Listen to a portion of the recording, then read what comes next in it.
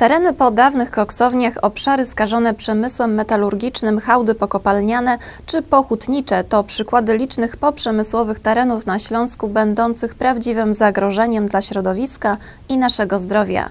Jedynym sposobem na ich unieszkodliwienie jest kompleksowa rewitalizacja.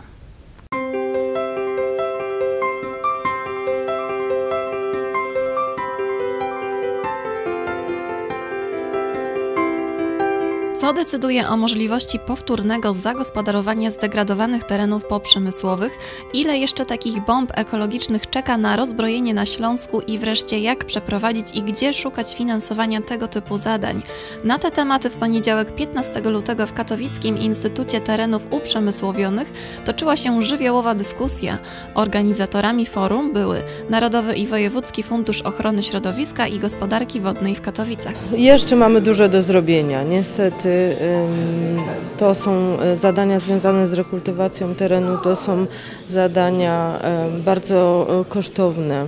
Koszt rekultywacji terenu, remediacji gruntów, więc oczyszczania gruntów jest bardzo wysoki i myślę, że nasze samorządy, które częściowo są odpowiedzialne, czy będą odpowiedzialne za realizację tego rodzaju zadań, do teraz borykały się z problemami związanymi z gospodarką odpadami komunalnymi i myślę, że jeszcze trochę czasu, czasu trzeba dać potencjalnym inwestorom na to, żeby te zadania, powiedzmy, tempo realizacji tych zadań było zadowalające. Czyli powiedzmy, żeby, żeby te tereny poprzemysłowe były na obszarze naszego województwa właściwie zagospodarowane.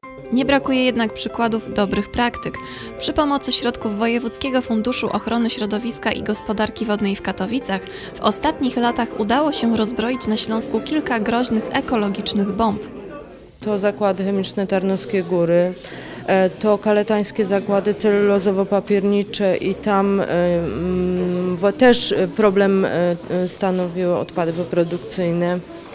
Dalej to składowisko odpadów po przedsiębiorstwie produkującym materiały zawierające azbest w Ogrodzieńcu i jeszcze zadanie realizowane związane z likwidacją bomby ekologicznej, likwidacja osadników szlamów cynkowych na terenie Szopienic. Na realizację tych projektów inwestorzy pozyskali blisko 80 milionów złotych dotacji z Wojewódzkiego Funduszu Ochrony Środowiska i Gospodarki Wodnej w Katowicach. To są pieniądze, które są właściwie wydane, bo one pozwalają jak gdyby ograniczyć skutki zanieczyszczenia środowiska, ograniczyć oddziaływanie tych zanieczyszczeń, które tam zostały e, zlokalizowane. Realizacja takich projektów przynosi wymierne efekty ekologiczne.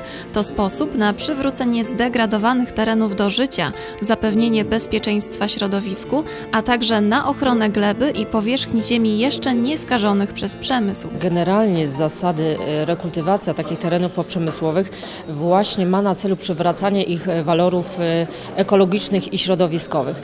Wiele jest takich obiektów na terenie naszego województwa, wśród których można zauważyć taką dobrą zmianę, czyli wcześniej widzieliśmy, że są to takie tereny zdewastowane, a teraz widzimy, że są to miejsca takie, można powiedzieć, nawet rekreacyjne, które służą mieszkańców, mieszkańcom na danym terenie. Oczywiście nie jest to proste zadanie, my zdajemy sobie z tego sprawę, ponieważ składa się na to wiele czynników. Przede wszystkim są to skomplikowane przepisy prawne, jest to ciężko, trudne do ustalenia kwestie własności bardzo duża, duże koszty remediacji tych mediów, ale jak się okazuje w dalszej perspektywie jest to niezwykle opłacalne, nie tylko w tym takim wymiarze finansowym, ale także takim czysto społecznym. Przykładem społecznego projektu z zakresu rewitalizacji terenów zdegradowanych jest realizowany od czterech lat w Mysłowicach program odczarowywania podwórek. Jest to wspaniały program, dlatego że pozwala z czegoś, co, co no nieciekawie wygląda, stworzyć coś nowego, stworzyć coś, co służy mieszkańcom, służy od tych najmłodszych do tych najstarszych, bo wszyscy razem przy tym uczestniczą i to jest najlepsze. Właśnie jak tak obrazowo jak to wygląda? To były takie podwórka osiedlowe, takie, gdzie nie było na czym usiąść, gdzie się pobawić, tak? To były takie podwórka, jak to mówią na Śląsku przy starych familokach, tam gdzie po prostu no, była bieda i nędza, bo tak to można nazwać.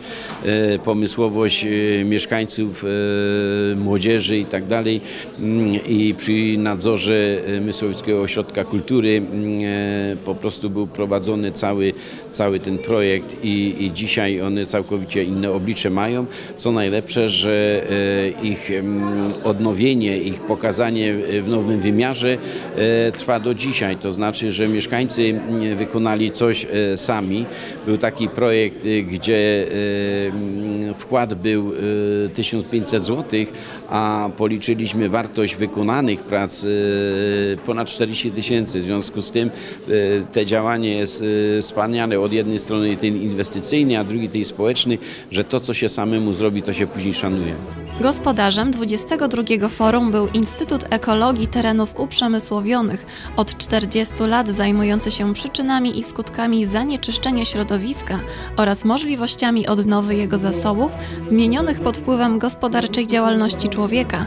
Instytut należy do czołówki polskich jednostek naukowych. Nasza rola to jest i rola badaczy, naukowców, którzy wytyczają kierunki y, działania y, na terenach zdegradowanych, skażonych czy to metalami ciężkimi, czy węglowodorami, czy w jakikolwiek inny sposób, ale również i rola ekspercka pomagająca inwestorom, właścicielom takich terenów, czyli również i samorządowi terytorialnemu e, we wskazaniu najlepszych, najbardziej optymalnych dróg przekształcania e, terenów zdegradowanych. Terenów, może inaczej e, powiedzmy, terenów uprzednio użytkowanych, na których zakończona została pewna działalność gospodarcza i rozpoczęcie nowej.